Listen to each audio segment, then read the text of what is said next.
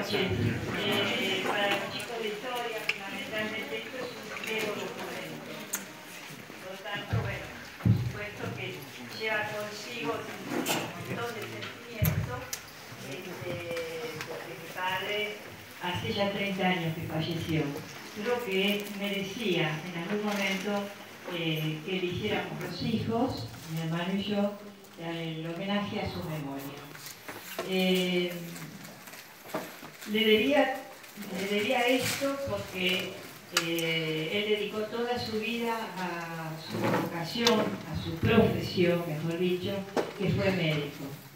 Y a través del tiempo y lo que fue dejando en recuerdo de todos sus pacientes, eh, le llamaban el médico de los pobres. Entonces esa frase quedó en mi hermano y yo y, y inicié la investigación, que ya sabíamos por dónde venía porque lo conocíamos, pero eh, algo más profundo. Entonces pensé que a esta altura eh, le debíamos rendir el homenaje y fundamentalmente dejarle este testimonio a mis nietos. Precisamente en una fecha que yo lo recordé a él por WhatsApp, que puse una pequeña biografía sobre él, muchos de mis nietos me dijeron, uy abuela, qué grande que era el bisabuelo. Eso eh, me incentivó como para que, sí, tienen que conocer, sobre todo una vida hecha con mucho sacrificio todo lo que logró fue exclusivamente el fruto de su esfuerzo. Por eso le diría esto a mi papá. Eh, narraré simplemente un esbozo biográfico del progenitor la gran herencia que recibimos sus descendientes, su conducta proba, su idoneidad profesional, su amor a Dios, la patria y la familia. Mi padre se llamaba Mario Nicolás Ricardi. Los padres de él provenían de Terranova de Polino, en el sur de la península, de una vasta familia que emigró a los finales del siglo XIX a nuestro país y a los Estados Unidos de Norteamérica, parientes estos, con los que también tuvo intercambio. Fueron sus padres Nicolás Antonio Ricardi, ebanista, y María la Pasta. Y tuvo cuatro hermanos, Domingo, Humberto, José y María Elena. Esta última querida tía, maestra normal nacional, que ejerciera en Tucumán y General Madariaga, provincia de Buenos Aires, como maestra rural, y que me iniciara en las lecturas de cultura general. Tengo el regalo que me hizo mi tía cuando nací, 1945, que es el tesoro de la juventud. Los que son contemporáneos saben muy bien que es una colección de 20 libros, los cuales lo leímos muchísimo y muchas veces está el hecho de donarlo porque parece viejo, ¿no es cierto? Pero la enseñanza que nos dejó a todos los que fuimos leyendo ese tesoro de la juventud se lo debemos a nuestra tía María Elena. Mi padre nació en Villa Centenario, Banfield, el 4 de abril de 1915. Toda su vida residió en esta ciudad. En 1943 en Derqui y luego en Cochabamba. Desde, 1550, desde 1953 hasta su deceso en 1990 en Talcahuano 637, donde tuvo su casa y su consultorio. Mi padre vivió toda la vida en Banfield, suelo natal al que mucho amor, identificándose con la parroquia Sagrada Familia y con los colores del Club Atlético Banfield. Era de estatura mediana, tez blanca, ojos pardos y porte robusto en su juventud, que afectado luego por una diabetes crónica, lo obligó a un severo cuidado de la salud, debiendo reducir mucho su peso en su edad madura, tenía un cuerpo menudo que lo limitaba para las actividades deportivas, dado que a la vez debía cuidarse de una afección cardíaca. De frente amplia y rostro sereno, encuadrado por anteojos de grueso armazón, calzado sobre una nariz no pequeña, con labios finos y poblado bigote, su voz baja y cálida, No puedo recordar un grito suyo. Se correspondía con sus ademanes medidos hasta en el abrazo cordial o el furtivo beso. De gestos serios y pulcros. Pulcro vestir mostraba en pelo un carácter afable y de franca sonrisa, reflejo fin de una personalidad bondadosa volcada a su profesión y a su familia. Sus estudios primarios fueron en la Escuela 7 de Banfield y en el Instituto Parroquial Presbítero Antonio Sáenz de Lomas de Zamora, en tiempos del padre Chimento, que lo fundó en 1925, lindero entonces en la iglesia Nuestra Señora de la Paz, siendo alumno de esos primeros años. Hoy justamente mi hijo me llamó y me recordó que en el año 2000 hicimos juntos, que estábamos en el taller de ciencias sociales, los 75 años del colegio. Le dio todo el material que tenía el archivo. Y ahí la sorpresa que se encontró entre los alumnos que ingresaban en el primer libro, al alumno Mario Ricardi, por un lado, pero además tenía toda la letra y toda la eh, firma del padre de él, o sea, mi abuelo. E incluso en un costado que decía la profesión, donde vivía y bueno, todos los datos, decía alfabeto. O sea, que claro que sabía leer y escribir. Entonces este, me decía, recordá eso, porque en ese primer libro ya está la firma de nuestro abuelo y que para nosotros fue una sorpresa, porque hizo los primeros tres años del colegio Sáenz de acá de Loma de Zamora. Después siguió la escuela número 7 y el secundario lo hizo en el Nacional de Adrogué. Finalmente, los estudios universitarios los hizo en la Universidad Nacional de La Plata. Como se imaginan ustedes, que viviendo en Villa Centenario, lugar que sigue existiendo, y cursar en la Universidad de La Plata fue un verdadero sacrificio sobre todo porque la situación económica de una familia eh, humilde eh, no lo proveía de muchos elementos como para poder, digamos, entre comillas, disfrutar de ese viaje estudiantil. De limitados recursos económicos, solía referirse a lo sacrificado de sus estudios de grado, al tener que recurrir para su preparación al préstamo de amigos o asistir a bibliotecas públicas para estudiar y consultar textos de lectura obligatoria. De allí el culto que siendo ya profesional tuvo por estar al día en todas sus lecturas especializadas, habiéndose graduado en 1943 de médico. Más tarde se dedicó a clínica médica y psicólogo, finalizando en la UBA en 1950 como médico legista. Naturalmente luego siguió perfeccionándose y está en nuestro recuerdo su consultorio de la calle Talcahuano con paredes colgadas de certificados. Con los colegas de su generación destaco entre ellos la amistad con médicos y odontólogos, que para los que viven en la zona todavía siguen, siendo apellidos conocidos el doctor Sestoni, Lanza, Chiodi, Texidó, Detrás, Fiameni, hermanos Morchio, Allende, Miatelio, los hermanos Curro, Marola, Cabrejas y Policarpo, entre los que mejor recuerdo.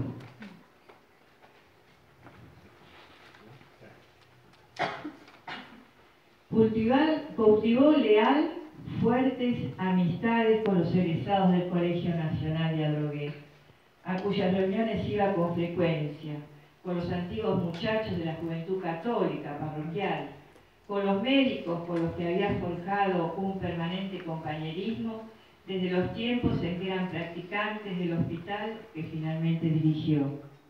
Pese a su carácter reservado, solía comentar en familia anécdotas de distintos momentos de su vida, como estudiante de secundario, como practicante del hospital, como médico en visitas domiciliarias y del vestuario del club, siendo más bien prudente y reservado en sus juicios, sobre todo con sus vinculaciones políticas y sus acciones como funcionario. En la política tuvo fuertes desengaños, moderado en todas sus acciones Fue por un breve periodo vicepresidente del Partido Justicialista en Lomas, en tiempos de don Federico Ceparro. Católico de raíz, fue miembro de los primeros grupos de acción católica en la parroquia Sagrada Familia, en los tiempos del Padre Virano. Los que son de Banfield recordarán al Padre Virano. En la foto que vemos se observan caracterizados vecinos de Banfield que integraban este grupo, quienes ocuparon como profesionales roles importantes en el partido de Lomas de Zamora. Por ejemplo, el profesor Luis rector de la Normal de Banfield, el doctor Abel Calvo, rector de la Universidad de Lomas, mi padre, director del Hospital Gandulfo, el doctor Carlos Biasioli, y otros vecinos de Banfield como Yacar, Menescaldi, Perticari y los hermanos Marconi. Con todos ellos tuvo una amistad perdurable. Papá se casó en 1944 con Blanca Nieves Salmerón, nativa de Lomas de Zamora, miembro de una tradicional familia residente en la zona desde comienzos del siglo XX, siendo todos nosotros vecinos afincados en el partido. El 21 de junio de 1945 fui su primogénita, nacida en el Policlínico de Lomas. Y Mario Daniel, mi único hermano, nació en la casa paterna de Banfield, entonces en la calle Cochabamba, el 1 de octubre de 1948. Alcanzó a ver y a amar a sus 11 nietos, Santiago, María de los Ángeles, María de las Mercedes, María Soledad, Patricio Sebastián, Carlos Nicolás, Ana Lía, Diego Agustín, Mario Martín, Ignacio Nicolás y María Blanca del Rosario. La vocación médica se continuó en mi hermano Mario, pediatra, quien es abogado, que es también abogado, y en mi sobrina Analía, médica que se especializa en otorrinolaringología. Algún intento mío por seguir similar carrera, mi padre la desestimó, con argumentos que para entonces me parecieron válidos, iniciar la carrera de profesorado de historia. Se imagina, egreso el año 1962 de maestra, médicas casi no existían, pero había alguna. ¿Dónde estudiar? En la Universidad de Salvador. ¿Tenía que viajar hasta Buenos Aires? No, había que buscar alguna cosa que la nena hiciera cerca. Y como siempre digo, ¿no? que el dedo de Dios siempre ayuda. En esos momentos eh, la comisión de padres de la zona de Lomas de Zamora, de colegios católicos, estaban creando un grupo de este, padres que querían un profesorado en la zona. Era este. Entonces le salió redondo. no tenía que viajar, no seguía medicina y encima me quedaba en la zona. Y además, como a mí me, gustaba, ya era maestra, ¿no es cierto? Seguía con mi vocación, por lo tanto, fue un psicólogo total. Eh, y bueno, que me demostró que estuvo acertado. Fue hincha de Banfield desde siempre y jugó bien al fútbol integrando sus equipos juveniles. Tiempo de goles increíbles, logrados con inusual potencia que le ganaron el nombre de Zapallito. Tiempos posteriores de domingo futbolero, en tribuna primero y paratea vitalicia luego. Tiempo al fin de médico honorario del plantel y miembro de sucesivas comisiones directivas. Banfield era su amor, el otro amor, como le decía mi mamá. Fue amigo de figuras características en la historia del Club Banfield, como Florencio Lencho Sola, Valentín Suárez e Ildefonso Martínez, y de reconocidos jugadores, el uruguayo Silvera, de frecuentes visitas a su reconsultorio, Riggi, Carrascosa, Converti, Maidana, e hinchas, de, e hinchas del Club de los Amores. Jugadores y exjugadores eran asiduos pacientes en su consultorio de la calle Talcahuano, a quienes atendía gratuitamente.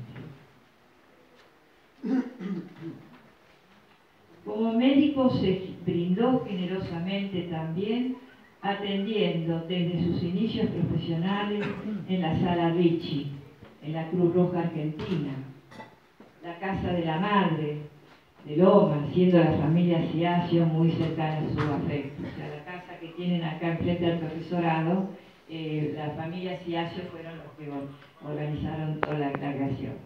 Fue un entusiasta miembro de la Federación de Padres, cooperadores de los colegios católicos de la diócesis, creadas por Ruta y Shell, con quien desde que era párroco de Nuestra Señora de la Paz en Lomas, participó activamente de los movimientos especiales de la zona. Eh, la labor eh, comunitaria eh, fue médico, fue la única vez que el colegio Nuestra Señora de Lourdes de Banfield, de donde yo hice toda mi carrera, este, tenía acceso un hombre a la, clausura y esa, ese acceso a la clausura tenía porque era el médico de las hermanas. ojo que para llegar a poder ser el médico de la semana, había pasado previamente, no digo un, examen, pero un reconocimiento por parte de la orden. Era el único que entraba a la clausura y por eso a veces este, eh, sacó algunos favores de las monjitas, como por ejemplo mi designación de maestra. Eh, pasó también por el ejército, estuvo eh, dos años fue médico cirujano militar por un breve periodo, eh, muy difícil para nuestra historia nacional. Y un honesto y probo funcionario público sanitarista, ejemplar amigo del neurólogo Ramón Carrillo, quien fuera gran ministro de Salud Pública en el primer mandato presidencial de General Perón, del que recibió sugerencias y consejos en su hacer al frente de similar repartición en nuestra comuna. Se destacó en la salud pública lomense, enfrentando la primera epidemia de parálisis infantil e implementando labores preventivas de higiene ante la inexistencia de las vacunas que posteriormente fueron exitosas contra este temible mal. Hoy hablar de la eh, poliomielitis es una cosa parece natural, ¿no es cierto? Una enfermedad más, pero cuando se dio la epidemia eh, fue terrible, porque no tenían manera de cómo poder este, paliar este mal, sobre todo en, los pequeños chicos que eran los que más afectó. Hasta que salió después la vacuna, primero la YAR y después la SAVIN. Y ni siquiera que eran eh, inoculadas, sino que por vía oral, así que mejor todavía. Director del Hospital Municipal Luisa Cabena de Gandulfo en dos oportunidades, cuando ejerció la función de primer subsecretario de Salud Pública en Lomas de Zamora, el área aún dependía de la Secretaría General en las gestiones del peronismo en Lomas de Zamora en 1955. También ejerció la dirección en Remedios de Escalada, de hoy desaparecido Hospital Ferroviario. ¿Se acuerdan que ayer pregunté qué pasó con el Hospital Ferroviario? Porque quedó la estructura, pero era un hospital que precisamente lo, avaló y pagaba todos los servicios el ferrocarril y, tenía todas las especialidades que eran necesarias, menos operaciones, porque los derivaban a capital, en el hospital ferroviario. Y bueno, de repente desapareció en los últimos tiempos y ahí quedó como un fantasma, ¿no es cierto? Uno pasa y lo ve. También ejerció la dirección de Remedio no, ya eso lo.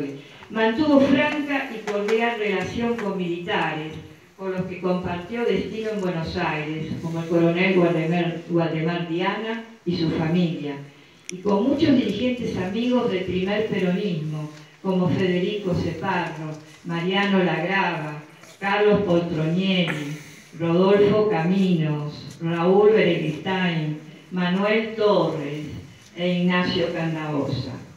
Los que, algunas personas que veo que son de una mediana edad para arriba, eh, estos, estos apellidos son muy conocidos, son desconocidos. Pero no puedo dejar de señalar un rasgo noble más de este otro médico de los pobres. Fue un médico vecinal de los de antes, que concurría a domicilios en lugares apartados de la periferia del partido, atendiendo a humildes pacientes, a quienes no cobraba y de los que recibían agradecimiento muchas veces huevos, pollos, tomates u otras hortalizas de la huerta y en oportunidades patos y conejos, que a mi madre le costaba mucho cocinarlos. Quizás eh, uno pone estos ejemplos y no le da sentido de, nombrarlos, pero para mí, eh, como hija, valoro eh, su estilo de vida, porque no tenía la profesión como un medio para especular, la profesión la tenía como un verdadero sacerdocio. Esta es la sencilla y valiosa biografía, según juzgo, de un sacrificado médico sanitarista que falleció a los 75 años. El viernes, me. A los 75 años, el viernes 3 de agosto de 1990, cuyos restos descansan junto a los de mi madre, mi hijo y mis abuelos en la bóveda familiar del cementerio municipal. Nos orgullece llevar su apellido y dar a conocer su trayectoria y obra de bien la de un hombre sencillo de ejemplar conducta, cívica, profesional y hogareña, nativo de este terruño del sur bonaerense, de honrado y modestos bienes, que fue un vecino de asumida identidad y tuvo por impronta eh, misional el bien común. He querido honrar y hacer público su buen nombre y noble accionar, hombre de profunda fe, amó a su esposa, hijos y once nietos, que como varón justo pudo a todos abrazar. Sirvió a la patria como médico militar y como funcionario público de la salud. Fue un hombre de paz, padre afable y contenedor, brindando consejos y protección ante alguna debilidad o error de sus hijos, y tuvo siempre palabras de aliento ante fracasos y dolores sufridos en la familia. Este fue mi papá.